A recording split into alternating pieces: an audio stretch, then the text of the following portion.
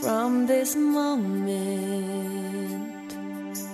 life has begun. From this moment, you are.